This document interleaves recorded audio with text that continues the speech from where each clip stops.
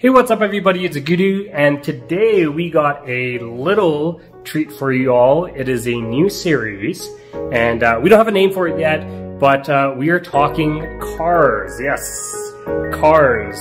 Uh, we do have a few videos coming out, but today I thought it would be a cool idea to show you guys uh, the baby I've been driving since 2016, uh, and I'm super excited to show you guys what it is. This is my 2010 BMW 328i. Now, I've had this thing since 2016. Uh, it was 164,000 kilometers at the time.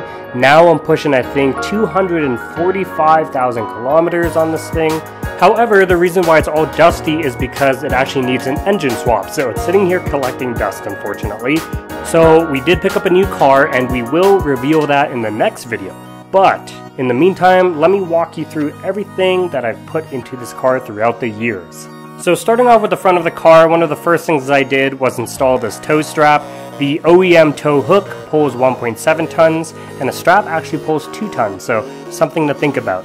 Along with the F-Series kidney grills here, I also installed these 3D printed intake scoops. I didn't want the bar, just wasn't my take.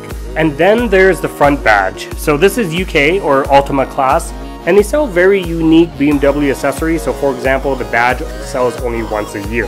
Lastly, I do have the 50th anniversary badge. Don't worry, it's not peeling, it's just the original seal on top, I just never took it off. Now moving on to the sides of the vehicle, I installed this gradual signal uh, along with the M sticker just because I couldn't find anything else. And then I also installed these fake carbon fiber side mirrors. So this was definitely a cheaper option at the time when I did the installation. So I have no regrets.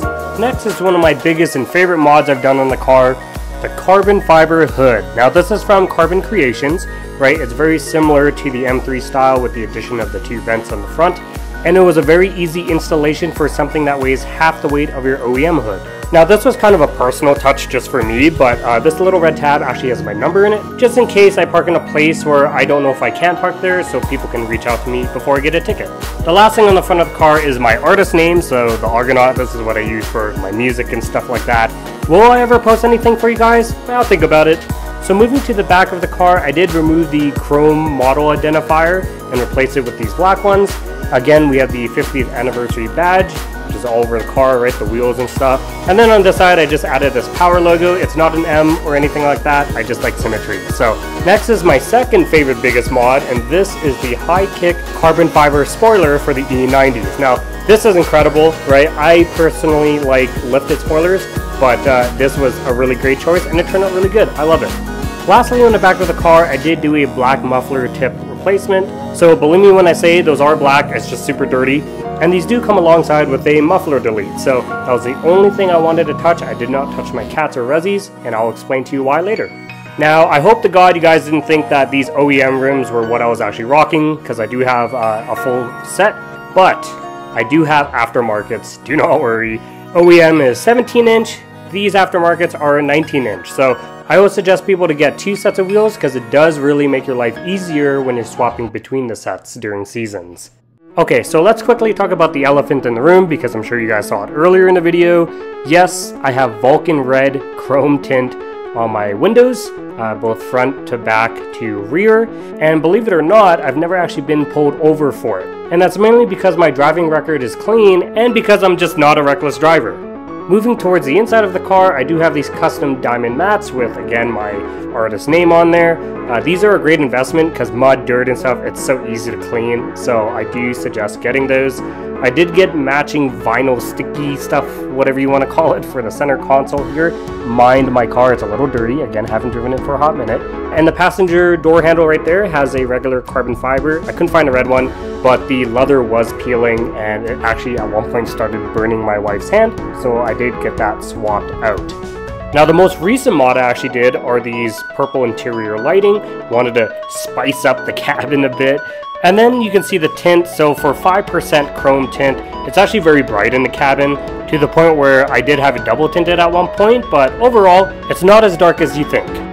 Finally, moving into the engine bay, I honestly didn't do much at all. Uh, I did get some new beauty covers, right? I got them from a buddy of mine and I ended up spray painting them red just to keep that black and red consistency, along with the bars on the side, the strut bars. And then I also installed a AFE Stage 2 air intake. This is the reason why I only did a muffler delete, because if you do a muffler delete and you install this intake, your car sounds a lot lower. It doesn't sound like a whiny, broken vehicle. It sounds like what a German car actually needs to sound like.